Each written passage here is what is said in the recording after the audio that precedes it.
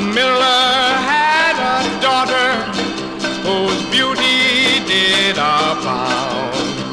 He met a king one evening, said, My daughter can spin you gold. Send her to me quickly, I'll have her spin me some. And if she does it well, my queen she will become. She went to the king's castle and entered a tiny room. You'll stay here and spin some gold, or tomorrow may be your doom. As he closed the door behind him, she wept with tears for her life. But suddenly, a dwarf appeared. Can I be of help tonight? Oh, if you can spin me some gold, I'll give you anything you ask. My price will be your firstborn. If you become the queen, that's all I ask.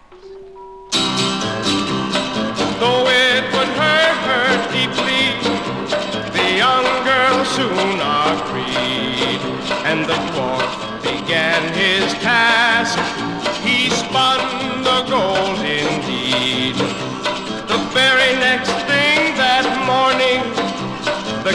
came to her room.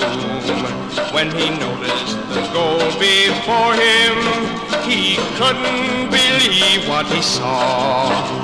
Soon the king and queen were married. Soon they had a son. And the dwarf appeared to demand him, for his task had been well done. The queen remembered her bargain and tried to get out of it. So the dwarf said that if she could guess his name, their bargain he would forget.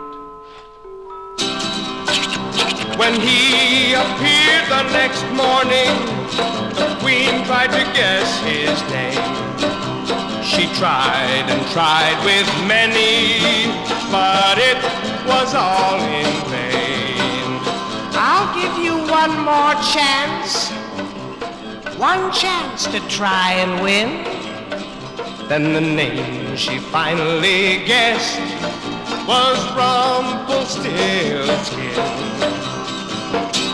The dwarf went into a fit and stomped on the ground so hard that he disappeared.